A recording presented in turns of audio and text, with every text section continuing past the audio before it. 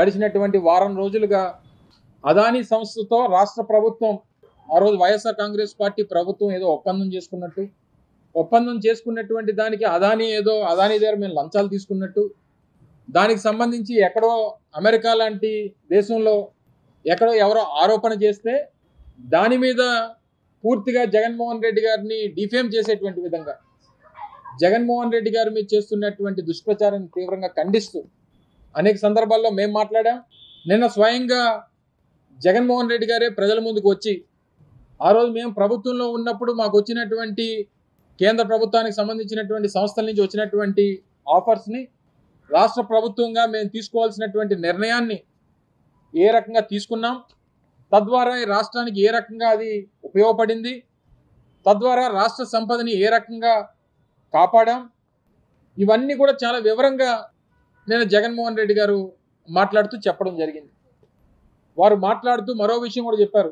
ఏవైతే కొన్ని పత్రికలు పనిగట్టుకొని జగన్మోహన్ రెడ్డి గారి మీద చేస్తున్నటువంటి ఈ దుష్ప్రచారాన్ని ఆపకపోతే నలభై ఎనిమిది గంటల్లో క్షమాపణలు చెప్పకపోతే వంద కోట్ల మేర డిఫమేషన్ సూట్ కూడా వేస్తామన్నటువంటి మాట నిన్న జగన్మోహన్ రెడ్డి గారు చెప్పడం జరిగింది. అయినప్పటికీ వారు అంత సవివరంగా పత్రికల్లో పత్రికా సమావేశంలో వాస్తవాలన్నింటినీ కూడా ప్రజల ముందు పెట్టినా సరే మళ్ళీ ఈరోజు ఆ పత్రికలు వక్రీకరిస్తూ సరైనటువంటి సమాచారంతో నిన్న జగన్మోహన్ రెడ్డి గారు ప్రజల ముందుకు తీసుకొచ్చినప్పటికీ సమాచారాన్ని మళ్ళీ దాన్ని వక్రీకరిస్తూ ఈరోజు మళ్ళీ వారి పత్రికల్లో ప్రధానమైనటువంటి ఎజెండాగా ఈ వార్తను క్యారీ చేస్తూ మళ్ళీ ఈరోజు దుష్ప్రచారం చేసేటువంటి ప్రయత్నం చేశారు. అయితే నిన్న వారు మాట్లాడినటువంటి మాటలు ఇది చంద్రబాబు నాయుడు గారు అలాగే తెలుగుదేశం పార్టీ గెజెట్ పేపర్లు. మేము ఇప్పుడు కాదు అనేక సంవత్సరాలుగా మేము పార్టీ పెట్టినటువంటి నాటి నుండి జగన్మోహన్ రెడ్డి గారు కాంగ్రెస్ పార్టీని విడిచి బయటకు వచ్చి వైఎస్ఆర్ కాంగ్రెస్ పార్టీ స్థాపించిన దగ్గర నుంచి జగన్మోహన్ రెడ్డి గారి మీద దుమ్మెత్తి పోస్తున్నటువంటి పత్రికలు. ప్రధానంగా ఈనాడు ఆంధ్రజ్యోతి. నిన్న జగన్మోహన్ రెడ్డి గారు మాట్లాడుతూ విద్యుత్ కొనుగోలు ఒప్పందం. సెక్కి రాష్ట్ర ప్రభుత్వం డిస్కమ్ల మధ్య జరిగింది. మధ్యలో దళా దళారీ లేడు. ఎక్కడా థర్డ్ పార్టీ లేదు. అలాంటి అప్పుడు అవినీతికి అవకాశం ఎక్కడా అనేటువంటి మాట నేను జగన్మోహన్ రెడ్డి గారు చెప్పడం జరిగింది. చెప్తూ దానికి సంబంధించినటువంటి సమాచారాన్ని కూడా వారు చూపిస్తూ ఇది solar energy corporation of India. అంటే సెక్కి అనేటువంటి కేంద్ర ప్రభుత్వానికి సంబంధించినటువంటి సంస్థ సెప్టెంబర్ పదిహేను రెండు వేల ఇరవై ఒకటో సంవత్సరంలో రాష్ట్ర ప్రభుత్వానికి విద్యుత్ కొనుగోలు విషయంలో రెండు రూపాయల నలభై తొమ్మిది పైసలకి యూనిట్ ధరని కేటాయిస్తూ మీరు కొనుగోలు చేసుకునేటువంటి దానికి ఇది మంచి అవకాశం అనేటువంటి విషయాన్ని చెప్తూ ఆ రోజు అప్పుడున్నటువంటి మా ప్రభుత్వాన్ని ఆ రోజు మేము చేస్తున్నటువంటి కార్యక్రమాల్ని వారు కీర్తిస్తూ ఇచ్చినటువంటి ఒక ఆఫర్.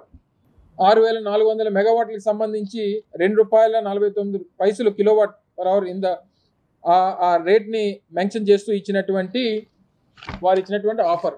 ఈ ఈనాడు ఆంధ్రజ్యోతి మొన్న పత్రికల్లో ఏం రాసినాయి?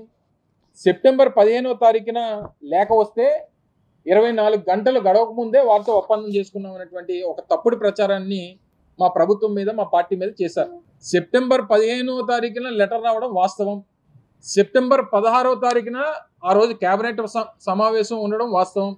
ఈ రోజు ఆ రోజు వచ్చినటువంటి ముందు రోజు వచ్చినటువంటి లేఖని మరుసటి రోజు జరిగినటువంటి కేబినెట్ సమావేశంలో దాన్ని టేబుల్ ఎజెండాగా తీసుకొని వచ్చి ఇలాగా మనకి కేంద్ర ప్రభుత్వ సంస్థ నుంచి ఒక ఆఫర్ వచ్చింది. ఇది మంచి ఆఫర్గా ఉంది. సో దీని మీద కౌన్సిల్ ఆఫ్ మినిస్టర్స్గా మనం ఒక నిర్ణయం తీసుకోవాలి.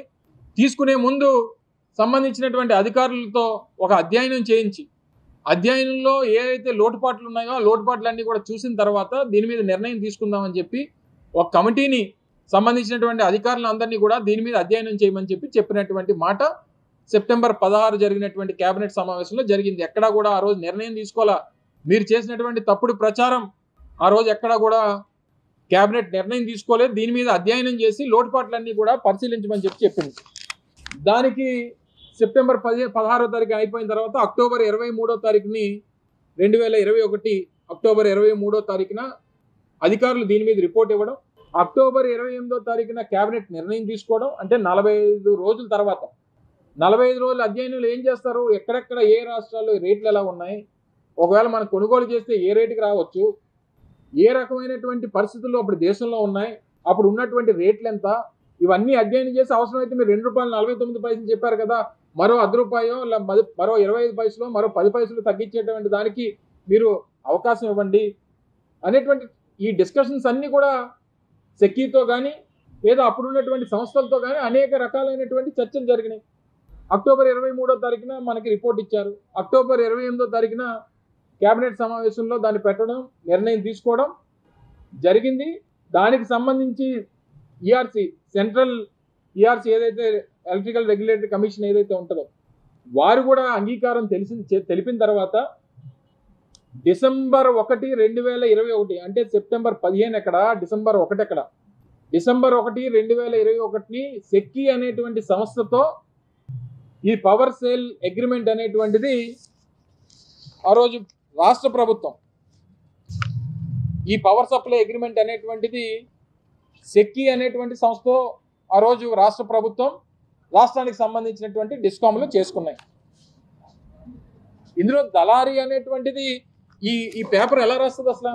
సెక్కి అనేటువంటిది దళారి అని చెప్పి ఎలా రాస్తుంది ఈ పేపర్ సెక్కి అనేటువంటి సంస్థతోనే ఒప్పందం ఈ రాష్ట్ర ప్రభుత్వం డిస్కామ్లు చేసుకున్న తర్వాత సెక్కి దళారి ఎలా అవుద్ది? అంటే రేపు బిల్లు రైజ్ చేసేది సెక్కియే మనం డబ్బులు కట్టేది సెక్కికే మనకు రేట్ ఆఫర్ చేసింది సెక్కియే కాంపిటేటివ్ రేట్స్ ఆ రోజు దేశంలో ఉన్నటువంటి రేట్లతో అత్యంత తక్కువ రేటుకి మనం కొనుగోలు చేసింది సెక్కి నుంచే. మధ్యలో దళారి ఎక్కడి నుంచి వచ్చాడు? మధ్యలో సెక్కి దళారి ఎలాగ అవుద్ది? మన పవర్ సప్లై అగ్రిమెంట్ అనేటువంటిది చేసుకుంది సెక్కి అనేటువంటి సంస్థతో నేరుగా ఈ కేంద్ర ప్రభుత్వ సంస్థతో చేసుకున్నాం. దీన్ని దళారీగా చిత్రీకరించేటువంటి ప్రయత్నం చేశారు. తర్వాత నిన్న జగన్మోహన్ రెడ్డి గారు మాట్లాడుతూ గతంలో రాష్ట్రంలో సగటు విద్యుత్ కొనుగోలు ధర యూనిట్ ఐదు రూపాయలు పది పైసలు. మనకు రెండు రూపాయలు నలభై తొమ్మిది పైసలకి ఇచ్చేందుకు కేంద్ర సంస్థ ముందుకు వచ్చింది దానివల్ల ఇరవై ఐదు సంవత్సరాల్లో మనకు దాదాపు లక్ష పదివేల కోట్ల రూపాయలు మనం ఆదా చేశాం.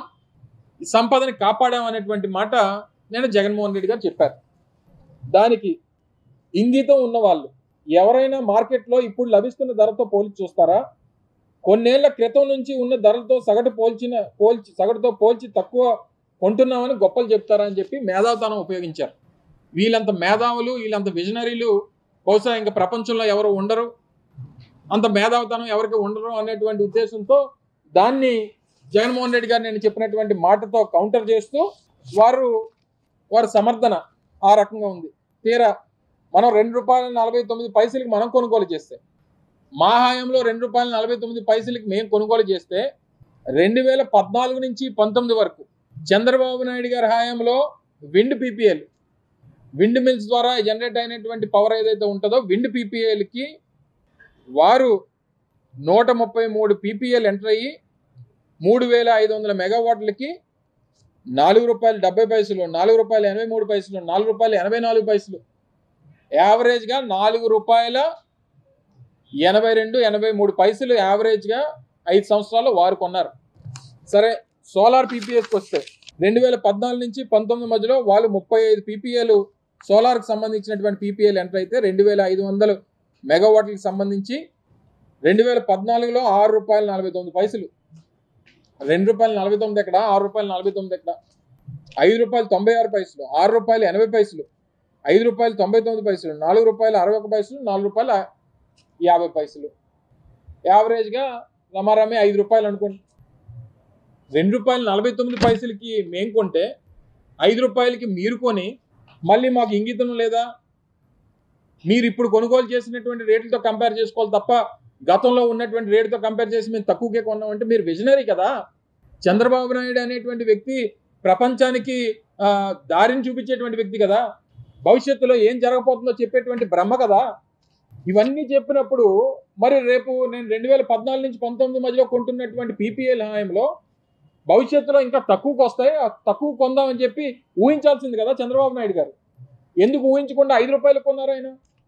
మరి ఇంత విజనరీ అయి ఉండి మీరు కొన్నటువంటి ఈ పీపీఎల్ ద్వారా మీరు చేసుకున్నటువంటి ఈ పీపీఎల్ ద్వారా రాష్ట్ర ప్రభుత్వం మీద రానుటువంటి ఇరవై సంవత్సరాల్లో పడేటువంటి భారం దాదాపు ఎనభై ఐదు వేల కోట్ల రూపాయలు. ఎనభై ఐదు వేల కోట్ల రూపాయలు అంటే మీరు సంపద సృష్టించినట్ట? లేదా సంపదని ఆవిరి ఆవిరి చేసినట్ట? పోనీ మేము కొని తర్వాత పోనీ రెండు వేల ఇరవై ఒకటి డిసెంబర్ ఒకటిన మేము పవర్ సప్లై అగ్రిమెంట్ మేము చేసుకున్నాం. పోనీ తర్వాత మూడు సంవత్సరాల్లో పోనీ రేట్లు ఏమైనా తగ్గాయని చూద్దాం. పోనీ రెండు వేల ఇరవై నాలుగులో ఈరోజు ఇప్పుడున్నటువంటి రేట్లు మీరు చూస్తే రెండు రూపాయల నలభై తొమ్మిది పైసలకి అసలు ఆ రేటు కానీ ఆ ఆ రేటుకి దొరికేటువంటి అవకాశం కానీ ఎక్కడ కూడా లేదు. ఇప్పుడు ఉన్నటువంటి రేట్లు చూస్తే రెండు రూపాయలు డెబ్బై రెండు పైసలు రెండు రూపాయలు డెబ్బై రెండు పైసలు రెండు రూపాయలు అరవై ఏడు పైసలు ఈ రేంజ్లో ఉన్నాయి. మరి ఎవరు విజనరీ?